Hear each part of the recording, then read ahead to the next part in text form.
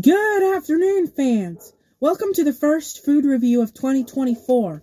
Um, today we are going to review Church's Chicken Chicken Finger Combo, the five-piece chicken finger combo. So that's what we're going to try out today. So I'm going to open the bag up and I'm going to show you how it looks like on the inside. This is how it looks like. Uh, obviously, I didn't get any bread. Oh crap! I almost spilt it. All right, let's first. I'm gonna I'm gonna try the side first, which is the French fries. Let's try the French fries first. Uh, this is the thickness of it. Golden yellow. Let's give it a try.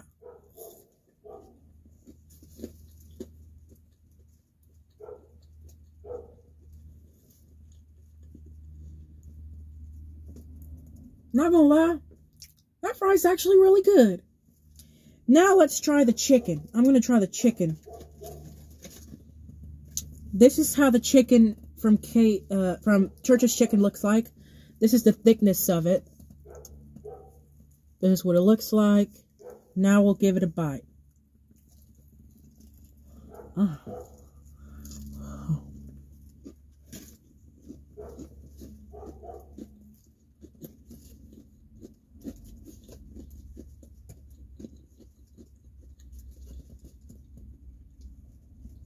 Chicken's really good.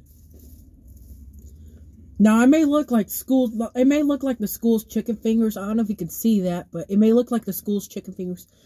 Um, it's still hot. I don't know if you see the smoke coming out of it, but the skin of the chicken looks like uh, the school's chicken fingers, but they're good quality.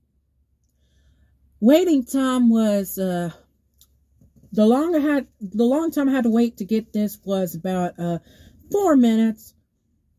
And then uh, the fries are okay, so I'd give it a I'd give it about a 4.1 out of 5.